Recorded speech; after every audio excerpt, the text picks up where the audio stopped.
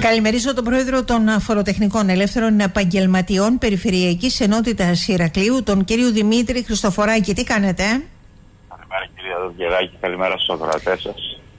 Ε, μιλούσαμε πριν από λίγο για τιμές, ε, για POS, ε, για μη ηλεκτρονικές ε, πληρωμές, αυτά που κάθονται και λένε. Μας έκανε ακροθυγός κάποιες έτσι, ε, τέλος πάντων είπε κάποια ενδιαφέροντα με το τι κάνει και το τι δεν κάνει η πολιτεία και τι πλασάρει, τι πουλάει και τι. Ο κύριος Λεχορίτης από το ΙΝΚΑ, Ινστιτούτο Καταναλωτών Ελλάδος. Να σας πω ε, κύριε Χριστοφοράκη, θα το ξεκινήσω λίγο λίγο ανάποδα και θα πάω από τον κατώτατο μισθό γιατί αυτό το οποίο διάβαζα και το οποίο φέρεται να δηλώνει η κυρία Κυραμέως είναι ότι ξέρετε σε λίγα χρόνια ο κατώτατος μισθός θα είναι πάνω από τα με 900 ευρώ αλλά θα υπάρχει και ένας αλγόριθμος με τον οποίο ε, θα υπολογίζεται αυτός ο κατώτατος μισθός. Τι στην ευχή είναι αυτό που δεν το καταλαβαίνω; Πείτε μου με δύο κουβέντες αν έχετε την καλοσύνη απλοποιημένα θα δημιουργηθεί ένας ε, αλγόριθμος, ε, ένας μαθηματικός τύπος δηλαδή. Όπως το ρεύμα ας πούμε. Ας ελπίσουμε να είναι πιο απλός. ε, εδώ θα έχουμε δύο βασικούς παράγοντες, δεν τον έχουμε δει ακόμα, θα βγει στη διαβούλευση ο συγκεκριμένος αλγόριθμος. Βέβαια όταν βγαίνει κάτι διαβούλευση συνήθως έχει αποφασιστεί και απλά ε, γράφονται οι αντιρρήσεις για να πάει όπως έχει βγει και να ψηφιστεί τελικά. Ναι.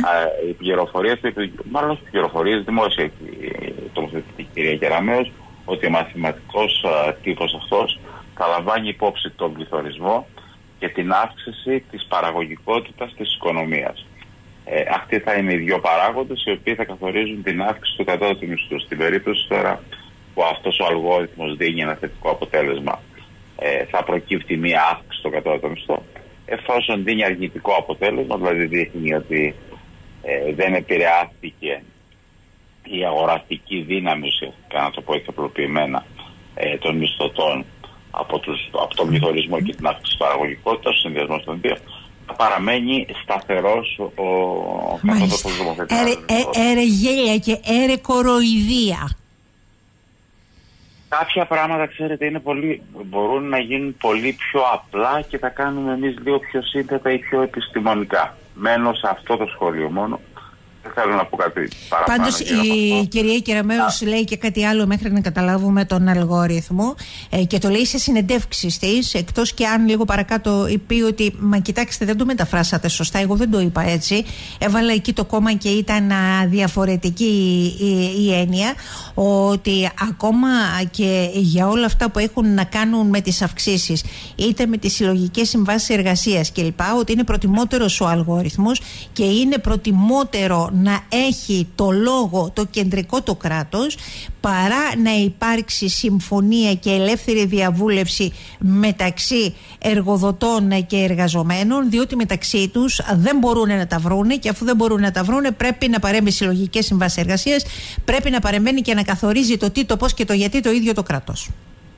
Γιατί έγινε κάποια προσπάθεια διαβούλευση με, μεταξύ των φορέων των εργαζομένων και των εργοδοτών και δεν προέκυψε. Α, και εσείς ρητορικά, και εσείς ρητορικά ρωτάτε σήμερα. Είναι η μέρα των ρητορικών. Δεν θυμάμαι κάτι τέτοιο πάντως ναι, να έχει ναι, ναι. υπάρξει. Ε, να πούμε για τον κόσμο ότι σήμερα ο κατώτατος νομοθετημένος μισθός είναι 830 ευρώ ε, και από τον Απρίλιο και μετά θα αυξηθεί κατά 40 ευρώ στα 870. Προφανώς μιλάμε για μικρές αποδοχές, έτσι. 705,66 είναι περίπου τα καθαρά που λαμβάνει ο εργαζόμενος που αμείβεται με κατώτατο νομοθετημένο μισθό. Ε, και η όποια αύξηση έχει αυτή τις ασφαλιστικές εισφορές 40 ευρώ που συζητάμε. Κοιτάξτε, η, η, εγώ θεωρώ ότι εφόσον ε, έχει επιστρέψει η οικονομία σε συνθήκες κανονικότητας και έχουμε φύγει από τα μνημόνια. Όπως ε, όπως το διαφημίζουν. Όπως δηλώνουν, δηλώνουν παντού.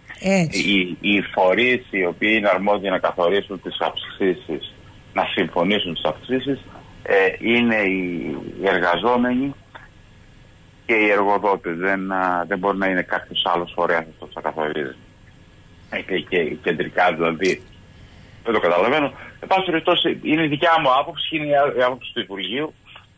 Ε, με, για το επόμενο διάστημα θα πάμε με τον αλγόριθμο που είπαμε για την αύξηση του Μάλιστα. Τώρα, Πείτε μου και κάτι άλλο, γιατί παίζετε και ένα άλλο παιχνίδι, το ε, ο οποίος πραγματικά σου δημιουργεί πάρα πάρα πολλά προβλήματα.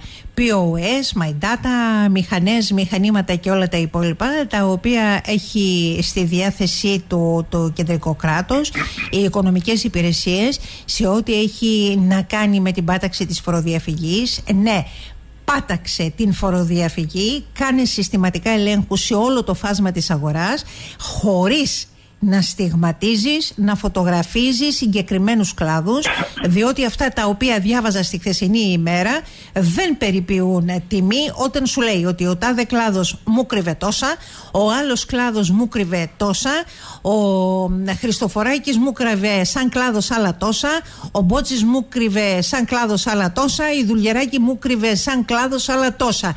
Και θα φαγωθούμε στο τέλος μεταξύ μας. Ή κάνε τους ελέγχους σου. Σε όλη την αγορά εργασίας ή άστο να πάει στην ευχή, άστο να πάει στην ευχή.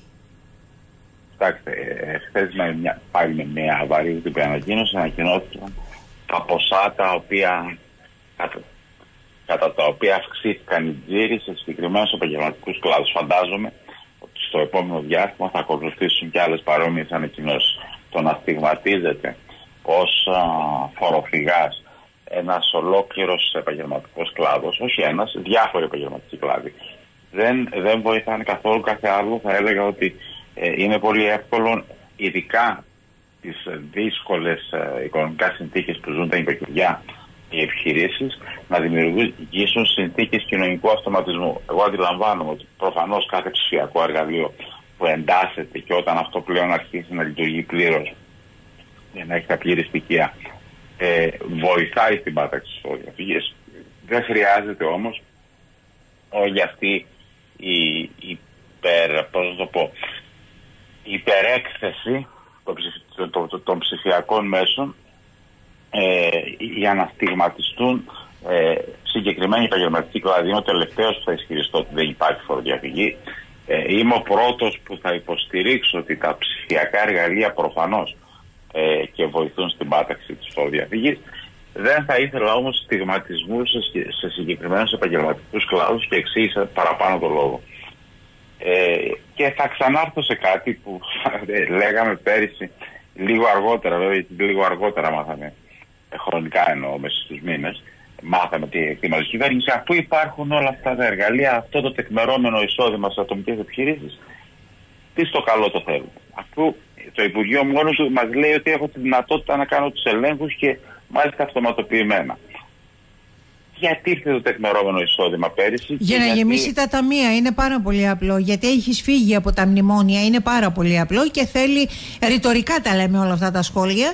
Ε, και θέλει παραπάνω έσοδα μέσα στα ταμεία του. Μα δεν το καταλαβαίνετε κύριε Χριστοφοράκη. Τώρα εγώ θα σας το πω ταπεινά. Συμφωνώ, μαζί, συμφωνώ μαζί σας. Όπως επίσης καλό θα ήταν ε, σε κάθε ανακοίνωση που προκύπτει από το Υπουργείο Οικονομικών ή από την ΑΔΕ καταγγέλλοντας ή δίνοντα τα εύσημα στον εαυτό τους γιατί βρήκαν αυτή την περίπτωση φοροδιαφυγής, την άλλη περίπτωση εκτεταμένης φοροδιαφυγής κτλ. κτλ.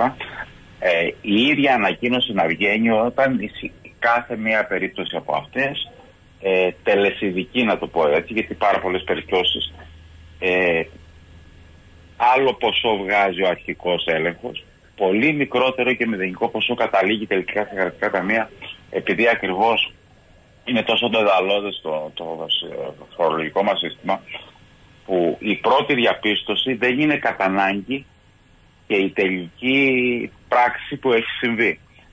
Έχουμε ακούσει πάρα πολλές φορές και ε, έχω γίνει μάρτυρας πάρα πολλές φορές ε, ε, προσωπικά εννοώ σε επιχειρήσεις που έχουν ανακοινωθεί ως τεράστιοι φοροφυγάδες και τελικά το δικαστήριο ε, αποφασίσει, γιατί φτάνουμε στο δικαστήριο κάποια στιγμή, ε, να δικαιώνεται ο φορολογούμενος σε πολύ πολύ μεγάλο βαθμό και να μην είναι τα πράγματα έτσι. Μέχρι τότε όμως έχει στιγματιστεί μια επιχείρηση και ένας φορολογούμενος. Μπορούμε, αν θέλουμε στη χώρα μας να έχουμε ψηφιοποίηση σε επίπεδο Υπουργείου Οικονομικών και επίπεδο Υπουργείου Εργασίας, απαιτούνται. Αυτό είναι άποψη. Απαιτείται μία ε, απλοποίηση του φορολογικού συστήματος ούτως ώστε και οι ψηφιακές εφαρμογές να μπορούν να είναι πιο άμεσες, πιο στοχευμένες ε, και πιο αποτελεσματικές, τελικά αποτελεσματικές και οι πολίτες που δεν έχουν πρόθεση να φοροδιαφύγουν θα μπορούν πιο εύκολα να το εφαρμόσουν. Ε, νομίζω ότι το σύστημα έσω, ταμιακά έσοδα έξοδα που προτείνουμε χρόνια και οι φοροτεχνικοί και οι, όμως, οι φορείς, οι φορείς των επιχειρήσεων είναι κάτι το οποίο εφαρμόζεται σε άλλες χώρες, μπορεί να εφαρμοστεί πλέον στη χώρα μας. Είναι το πιο δίκαιο σύστημα, δηλαδή πλήρωσες τόσα χρήματα για όποιες υποχρεώσεις. Εισέπραξες αυτά τα χρήματα, γιατί πλέον έχεις εικόνα του τι εισέπραξες ο καθένας, εισέπραξες αυτά τα χρήματα. Από τις πληρωμές σου προκύπτει ότι πλήρωσες παραπάνω χρήματα από τα χρήματα που εισέπραξες. Αυτά τα χρήματα που τα βρήκες. Είναι τόσο απλό. Τα επιπλέον χρήματα που κατανάλωσες από αυτά που δηλώνεις ότι βγάζεις μέσα στον χρόνο, μέσα στο χρονικό διάστημα που ελέγχει. Πού τα βρήκες. Υπάρχει, είναι, υπάρχει κάτι πιο απλό. Τώρα μπαίνουμε σε μια διαδικασία γιατί δεν διαβίβασε ε, στο MyData αυτό το παραστατικό μα γιατί κόπηκε το ρεύμα, μα γιατί δεν είναι ο πάροχος, μα γιατί δεν είχε ίντερνετ, μα γιατί, μα γιατί υπάρχουν χιλιάδες. Ε, πάρει ένα πρόστιμο. Ερχόμαστε πλέον ε, να έχουμε από μόλις τελειώσει το, όλο αυτό με τα POS που συζητάμε, ε, να ξέρουν οι πολίτες ότι έρχεται το ηλεκτρονικό δελτίο αποστολής εκεί να δείτε πάλι καινούρια συστήματα, καινούριες διαδικασίες που πάλι για μια άλλη μια φορά αρνούνται στο Υπουργείο να κατανοήσουν ή κατανοούν πάρα πολύ καλά και το κάνουν συνειδητά ε, τις ιδιαιτερότητες που έχει η ελληνική οικονομία ότι δεν είμαστε μια ευρωπαϊκή χώρα που κάθε χωριό είναι 50.000 κάτοικοι ας πούμε ότι εδώ είμαστε μια χώρα που υπάρχει ε, οικονομική ανάπτυξη στο αγροτικό τομέα και αγροτικός τομέας δεν είναι μόνο μεγάλες παραγωγές και μεγάλες εκτάσεις, αλλά υπάρχουν και μικροί κλήροι. Εδώ έχουμε πολύ μικρές επιχειρήσεις που ο επιχειρηματίας είναι και εργαζόμενος, ε, είναι και επιχειρηματίας, είναι και αν θέλετε ταμεία, είναι υποχρεωμένος δηλαδή να κάνει πράγματα τα οποία ποτέ δεν εκπαιδεύτηκε να κάνει σε όλα αυτά τα χρόνια. Δεν μπορώ να, να διανοηθώ πώ οι αγρότες θα κόβουν δελτίο αποστολής για να πάνε τον καρπό στο ελαιορυγείο για παράδειγμα. Δεν μπορώ να διανοηθώ ε, πώς θα... Δεν θέλω να πω άλλα παραδείγματα επαγγελμάτων, αλλά επαγγελματίες που δεν έχουν κατά ανάγκη ψηφιακή εκπαίδευση περάσει ποτέ στη ζωή τους, θα υποχρεωθούν να εφαρμόσουν όλο αυτό το, το, το project του My Data. Χωρίς μάλιστα να έχει, ξαναλέω πολλές φορές, δεν θα κουράσω να το λέω, χωρίς να έχει περάσει καμία εκπαίδευση ο άνθρωπος που θα κληθεί να χειριστεί τις εφαρμογές ε, και σε ηλικίες, ο ένας άνθρωπος αν τον 50-55 είναι εξαιρετικά δύσκολο να μάθει τώρα. Και χωρίς να του πληρώσει κανείς καμία εκπαίδευση, να μάθει μόνος του δηλαδή να χειρίζεται λογιστικές εφαρμογές οι οποίες μάλιστα θα είναι άμεσα διασυνδεμένες με την ΑΔΕ όποιο λάθος ε, δεν θα μπορεί να διορθωθεί με την άνεση που διορθώνεται μέχρι τώρα. Κύριε Χριστοφοράκη, αν ήθελαν θα μπορούσαν. Μπορώ και θέλω. Δεν θέλουν. Τελεία. Πάμε παρακάτω. Πείτε μου κάτι, γιατί ε, με πιέζει δυστυχώς ο χρόνος ε, για να πάω στα διαφημιστικά μηνύματα. Έχετε την καλοσύνη να μας πείτε, ε, τρέχουν κάποιες προθεσμίες ή ημερομηνίες, ανοίγει η, η νέα περίοδος κατάθεσης των φορολογικών δηλώσεων πότε; Η προθεσμία που τρέχει τώρα και είναι άμεση, το πρόστιμο είναι μεγάλο, είναι η προθεσμία διασύνδεσης ε, όσων προγραμμάτων ERP δεν έχουν διασυνδεθεί ακόμα. Ε, δεν έχουν διασυνδέσει ακόμα τα, τα, τα είναι, έχει πάει μέχρι 30 του, είναι λίγες οι επιχειρήσεις αυτές, ας πέσουν οι άνθρωποι έγκαιρα και δεν θα δει παράταση. Από εκεί και μετά.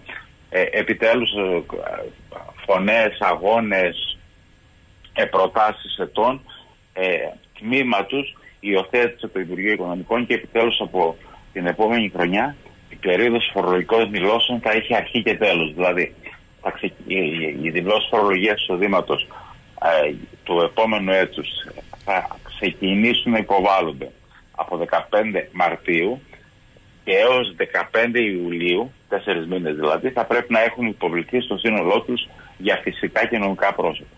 Μάλιστα υπάρχει μία πρόβλεψη στις ανακοινώσεις, το τονίζω, που έκανε το Υπουργείο Οικονομικών ε, για ποινές, χρηματικές ποινές στους υπεύθυνους των γραφικών κυρίων φορέων, οι οποίοι δεν έχουν αναρτήσει έγκαιρα τις βεβαιώσεις αποδοχών ή τις τροποποιήσουν κατά τη διάρκεια υποβολής των φορολογικών δηλώσεων, κάτι που κατά κόρον αντιμετωπίζαν τα τελευταία ναι. ε, χρόνια. Και κάτι, και κάτι ως, που, που ως προειδοποίηση παίζει τις τελευταίες ημέρες πάρα πολύ. Δεν σας άκουσα, συγγνώμη. Και κάτι λέω που ως προειδοποίηση ε, για τις ε, δηλώσεις αυτές παίζει τις τελευταίες ημέρες πάρα πολύ.